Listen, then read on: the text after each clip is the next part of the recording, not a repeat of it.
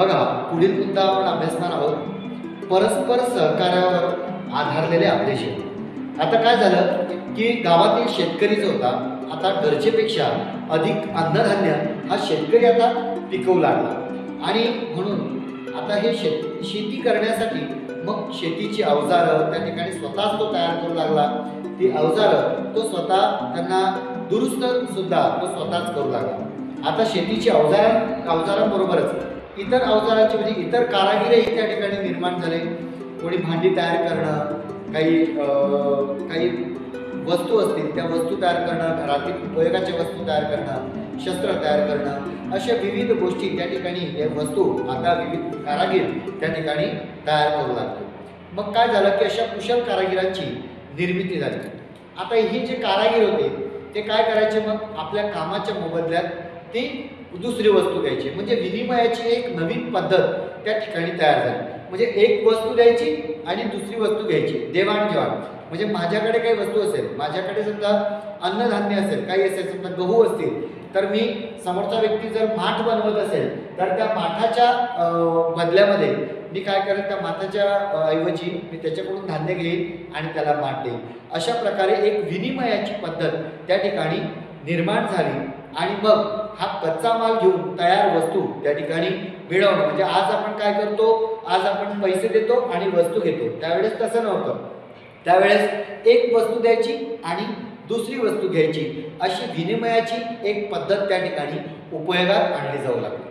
आता सर्वप्रथम सगळ्यात महत्त्वाचा भाग म्हणजे मीठ. मीठ ही खूप अत्यावश्यक गोष्ट होती. आणि बहुतेक गावांना हे जे मीठ जे होतं हे दुरून आणावं लागत होतं. मग हे जे मिठाचे व्यापारी काय करायचे? हे मिठाचे व्यापारी त्या मिठाचे म्हणजे मीठ आपल्या गावामध्ये ते त्या ठिकाणी घेऊन यायचे आणि ते मीठ देऊन ते वस्तू त्या ठिकाणी घेऊन जायचे. म्हणजे मिठाच्या बदल्यामध्ये वस्तू त्या ठिकाणी त्या व्यापाऱ्यांकडून घेतल्या जा घेतल्या जात होत्या. आणि म्हणूनच या मिठाच्या व्यापारामध्ये व्यापार या व्यापार व्यवस्थेला व्यवस्थेचा खूप मोठ्या प्रमाणावर त्या ठिकाणी विस्तार व्हायला मदत झाली. बघा गावातील हा जो व्यापार होता हा व्यापार आता वाढायला लागला.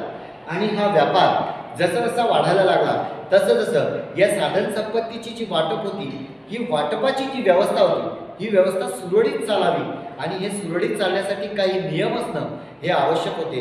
आणि म्हणून कारण एक गावातील लोकांनी एकमेकांना त्या ठिकाणी सहकार्य करणं हे खूप गरजेचं होतं. आणि सहकार्यासाठी काही नियम असणं आवश्यक होतं.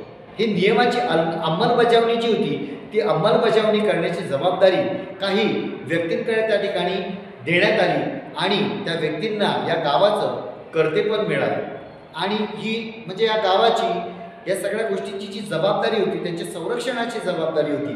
ही संरक्षणाची जबाबदारी ही त्या गावातील कर्त्या व्यक्तींवर त्या ठिकाणी येऊन त्यांना ती सोपवली गेली. आणि अशा प्रकारे त्या गावाची शासन व्यवस्था त्या गावाची एक शासन व्यवस्था त्या ठिकाणी निर्माण झाली. बघा नवश्मयुगातील जे गावाच्या भोवती आपण बघतो की काही संरक्षण भीती आपल्या आढळून आलेल्या आहेत. काही जंगली जनावरं असतील काही गुरे गुरे वगैरे चोरून येणारे बाहेरचे लोक असतील यापासून संरक्षण मिळवण्यासाठी या भिंती ज्या होत्या या भिंती त्या ठिकाणी बांधल्या गेल्या होत्या. आणि त्या भिंतींचे पुरावे बघा किल्ल्यांचे भिंतींचे आपल्याला माहिती आहे की या गावाच्या आजूबाजूला एक संरक्षण भिंत बांधली गेली होती. ती भिंत त्या भिंतीचे पुरावे आज रोजीही आपल्याला त्या ठिकाणी पाहायला मिळतात. मग अशा प्रकारे या वस्तूंची देवाणघेवाण वाढली व्यापार वाढला त्याचा विस्तार झाला आणि विस्तारामुळे परस्पर सहकार्याची भावना त्या ठिकाणी निर्माण करण्याची गरज वाचू लागली आणि लोक त्या ठिकाणी एकमेकांना नियमांचे पालन करून परस्पर सहकार्य करून त्या ठिकाणी आपले जीवन जगू लागले.